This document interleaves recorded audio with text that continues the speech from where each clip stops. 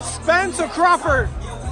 It's pretty pretty right now. Um, I like both of them. Both of them good, good friends of mine. I just want to see a great fight, and uh, I'm really looking forward to it. It's tough, man. Bud's my guy. I love Errol. I don't really want to jump in that in that frying pan right now, Elie. The fans are the winners. All right, what about Canelo Triple G?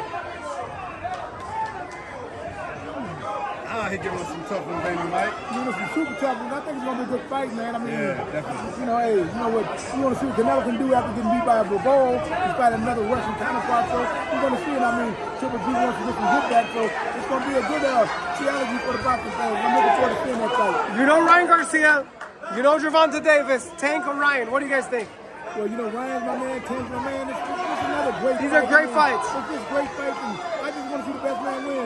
You know, I got admiration for uh, Ryan as well as Tank. I just want to see a good fight, man. And at the end of the day, the best man's going to win.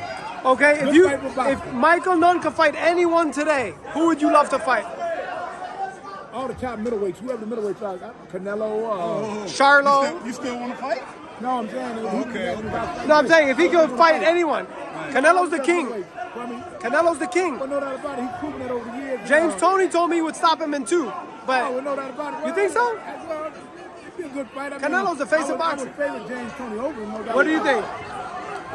But I think what? Canelo against James Toney. Well, I got to answer the Tank question first. Okay. I'm riding with DMV. Tank's my little brother. I like Tank. Shout out to him and his whole camp. Uh, ah, gotta go to gotta go to Canelo.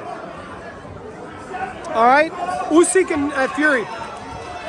Oh, very interesting fight, man. I mean, uh, you know, it's, uh, Usyk, uh, he surprised us by beating uh, Joshua not only once but twice.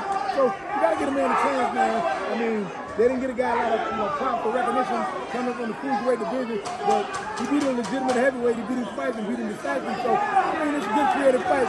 You might have to lean toward Tyson Fury by him being a bigger man, but that doesn't necessarily mean anything. I mean, by Usyk being a lot smaller and sharper and real quick with his hands, he might be to outstay him. It's, it's just a great fight for boxing. I forgot the question. Cause he, Usyk or Fury? oh, Fury. Fury Okay, hit hard. I like Fury. where do people follow you guys at? Follow me at Fears Promotions. Fears LLC Promotions. on Instagram.